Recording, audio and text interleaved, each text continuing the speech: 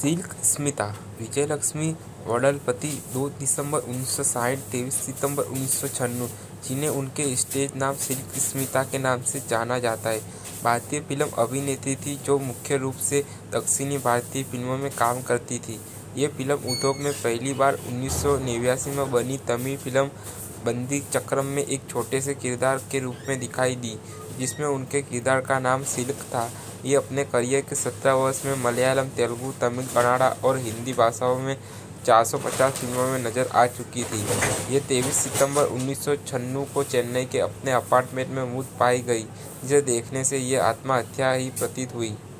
स्मिता ने अपना करियर अभिनेत्री के रूप में नहीं, बल्कि कलाकारों के टच अप के कार्य करते हुए शुरू किया था और बाद में इन्हें अभिनेत्री के रूप में एक छोटा सा किरदार मिल गया। इन्हें विनू चक्रवर्ती, जो फ्लोर मिल के निदेशक थे, ने ढूंढ निकाला। उन्होंने इनका नाम बदलकर स्मिता कर दिया और उनकी पत्नी ने इन्हें अंग्रेज़ी सिखाया और नृत्य सिखाने का भी प्रबंध किया। लेकिन उन्हें एक ही तरफ़ से किरदार मिलने लगे और अपने पूरे करियर में उन्हें बस उसी तरह के ही किरदार मिलते रहे।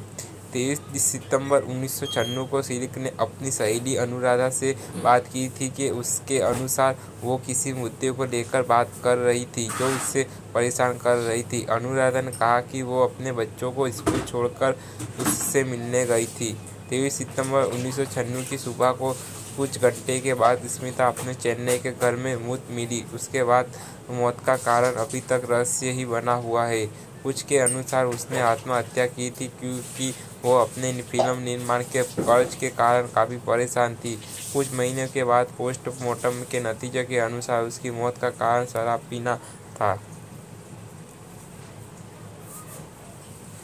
2011 में सिल्क स्मिता के जीवन से प्रेरित एक फ़िल्म जिसका नाम द डर्टी पिक्चर था, एक का निर्माण हिंदी में एकता कपूर ने किया था। फ़िल्म का निर्देशन मिलन लुथरिया ने किया था और विधा बालन ने अभिनय किया। स्मिता के जन्मदिन पर फ़िल्म को तमिल और तेलुगु के इसके डब संस्कारों के साथ रिलीज़ किया गया और इसे अनुकूल समीक्षा मिली। रिपोर्ट से पता चलता है कि सिर्फ़ स्मिता का परिवार, जिस पर फ़िल्म आधारित है, फ़िल्म से खुश नहीं है। स्मिता के भाई भी नागा वरदा प्रसाद ने दावा किया कि फ़िल्म को पारिवारिक सहमति के बिना बनाया गया था।